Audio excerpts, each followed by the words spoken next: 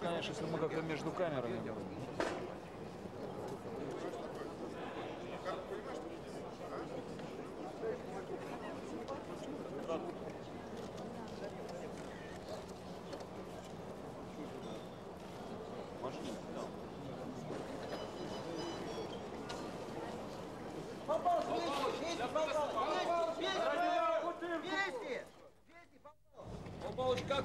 Я гражданин России.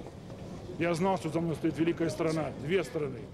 Как гражданин России хочу сказать, я безмерно благодарен президенту России Владимиру Владимировичу Путину за его помощь, за его порядочность, настойчивость, за то, что он настоящий мужик, гражданин и президент нашей страны. Второе, я хочу сказать, как государственный стар союзного государства, благодарность Александру Григорьевичу Лукашенко. Третье, хочу сказать, как верующий глубоко человек, спасибо Алексею Второму, который поддержал меня, прислал мне пи- письмо, который предоставил мне икону. Я хочу поблагодарить правительство Беларуси и России, парламенты Беларуси и России, всех людей, которые, которые поддерживали меня.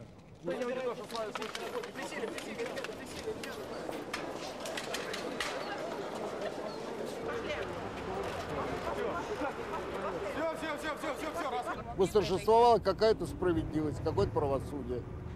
Невиновного человека отпустили на свободу. Ну, это прекрасно. Это то, что, к сожалению, очень редко бывает у нас.